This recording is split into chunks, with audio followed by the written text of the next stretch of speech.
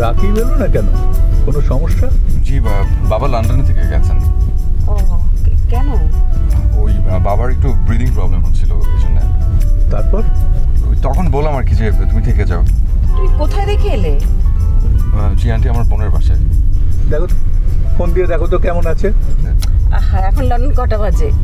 ছয় ঘণ্টার মতো মনে হয় ডিফারেন্স তাই মনে হয়। এখন করার কোনো দরকার নেই। ওখানকার টাইম দশটা এগারো দিকে ফোন করলেই হবে। ঠিক আছে। আচ্ছা আন্টি আমি আমি একটা হোটেলে ইয়ে করছি আমরা কি হোটেলে যাচ্ছি? হুম হুম তুমি আমার ওখানে উঠবে। না না আন্টি অলরেডি তো আমি একটা হোটেলে আমরা তো তুমি কেন হোটেলে থাকবে? চলো তো আগে আমার বাসায় তারপর দেখা যাবে। আচ্ছা। আপা।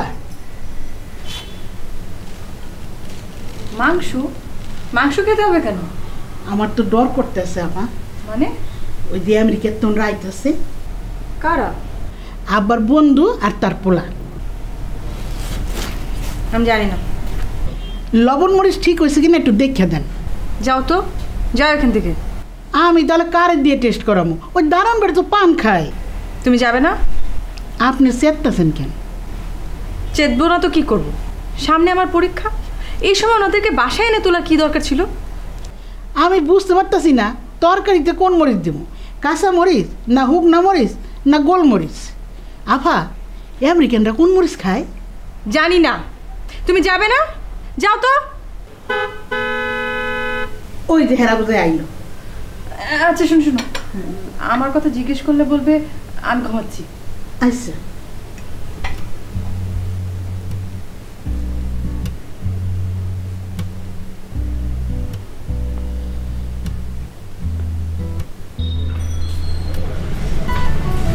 এসো।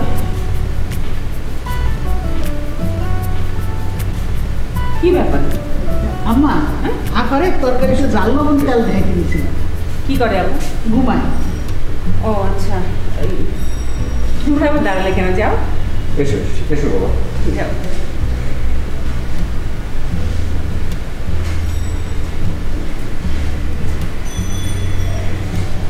ঠিক আছে। শোনো তুমি বাইরে ওই ড্রাইভারকে সাথে করে করে লাগেজগুলো আগে সব উপর নিয়ে এসো।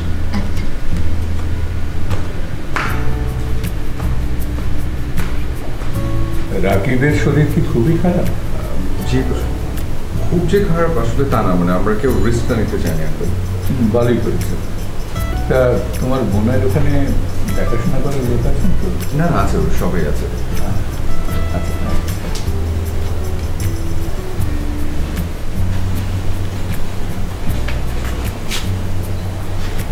ওর নাম স্বপন একা এসছে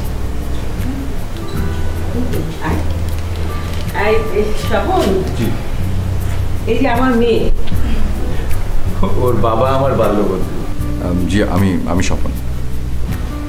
আমি বুনো। সরি বুনো। বুনো? হ্যাঁ বুনো। ওকে আচ্ছা শোনো তোমরা বসে গল্প করো। আমি দেখি তোমার থাকার ব্যবস্থা কি হলো। আর ইয়ে তুমি যাও না এইসব কিছু রেস্ট নাও যাও। আচ্ছা ঠিক আছে। আমি তাহলে একটু গড়াগড়ি করি হ্যাঁ? তুমি আমাকে একটু চা পাঠিয়ে হ্যাঁ দিচ্ছি।